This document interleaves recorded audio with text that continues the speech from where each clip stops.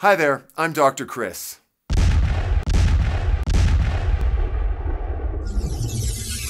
In previous videos, I primarily talked about explosive seismic sources, which release a large amount of energy over a short period of time.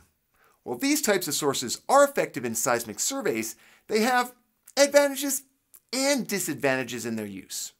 The disadvantages can be mitigated by a seismic source that is considerably safer than explosives and barely leaves a mark on the ground. Enter Vibroseis. Here we go. In typical surveys where explosives are used, a source is drilled to depth and triggered imparting a large amount of energy in a short period of time. If we take a closer look at the signal from the explosive source, by zooming into the wavefront and observing the wavelet, we see that the amplitude spectrum contains a wide range of frequencies.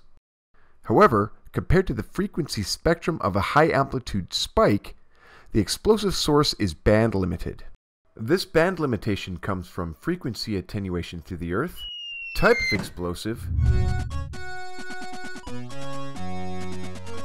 size of explosive, speed of explosive, and near surface conditions. Now, the large amount of energy and the broad amplitude spectrum of an explosive source generates a high signal to noise ratio in the seismic data. An explosive source is also fairly straightforward to understand. Just check out my previous videos. Essentially, propagating waves, reflections, and receive signal. However, there are a few disadvantages which many times makes explosives not an optimal choice or a choice at all.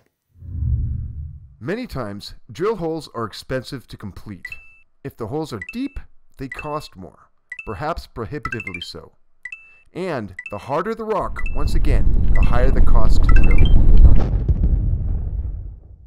Regulations and landowner concerns keep drill holes and sources away from buildings. Riparian zones, watercourses, water bodies, and ecologically sensitive areas are also off limits. Archaeology can also be lumped in there as well. Then there is, of course, pipelines and wells. As you might imagine, they're not exactly good places for explosives. Enter Vibroseis, which was developed in the 1950s and requires no drilling, doesn't explode, and doesn't leave much of a mark on the ground. However, the big question that initially comes to mind is how can a Vibroseis source match the signal to noise ratio of an explosive source? First, we think about splitting the energy of a single source into multiple smaller sources to release similar amounts of energy into the earth. If we replace the explosive with a vibrating source, we simply need multiple vibrating sources to release similar amounts of energy into the earth.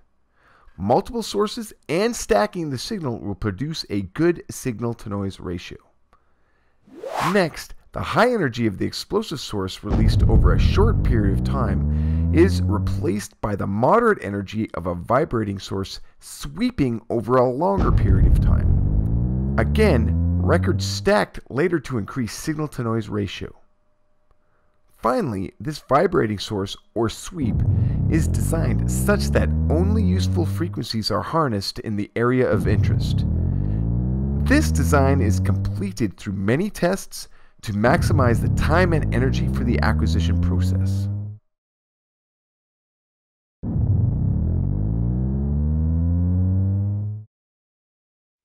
To recap, an explosive seismic source drilled to depth imparts a huge amount of energy in a short period of time with a wide range of frequencies, generally speaking. While explosives are a proven source, they come with proverbial baggage. Explosives can be expensive, they're well regulated in their handling and deployment, they can be dangerous, and have limited use in many areas. An effective alternative to explosives is a vibrating source. A vibrating source imparts a modest amount of energy for a longer period of time with a wide range of frequencies. More source points are needed to acquire a good signal to noise ratio, but vibrators are safer and leave almost no footprint on the environment. More videos to come. If you like my video, please give me a big thumbs up, subscribe to my channel, add me to your LinkedIn, or even better, share this video through your networks. Till next time, I'm Dr. Chris. Keep rocking.